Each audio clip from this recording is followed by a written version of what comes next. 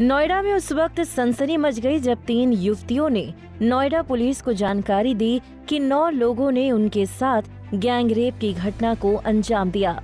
Gang rape की सनसनीखेज घटना के बाद नोएडा पुलिस ने कार्रवाई करते हुए नौ आरोपियों में से सात की गिरफ्तारी की।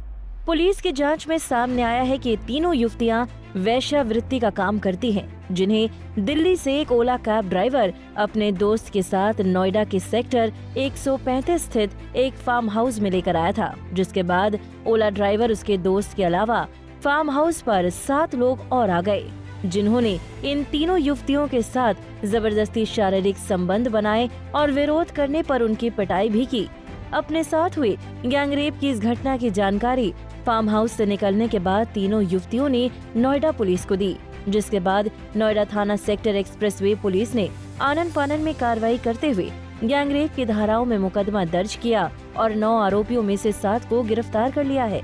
वहीं मुख्य आरोपी ओला कैब ड्राइवर और उसका एक अन्य साथी अभी भी पुलिस की गिरफ्त से फरार बताए जा रहे हैं। जाँच में ये भी पता चला है कि फार्म हाउस दिल्ली में रहने वाले सरकारी अधिकारी का है, जिसको पुलिस ने सील कर दिया है। वही अधिकारी से भी पूछताछ कर अपनी जाँच को आगे बढ़ाने की बात कही जा रही है।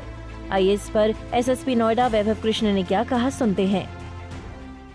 इस एप्लीकेशन पे तत्काल गैंगरेप की एफआईआर पंजीकृत की गई है और हमारे इंस्पेक्टर एक्सप्रेसवे ने बहुत त्वरित गति से कार्रवाई इसमें की और बहुत अच्छा काम करते हुए सात अभियुक्तों की गिरफ्तारी इसमें की है। दो अभियुक्त अभी नहीं पकड़े जा सके, वो भी जल्दी पकड़े जाएँगे। News desk, story how Hindi dot com.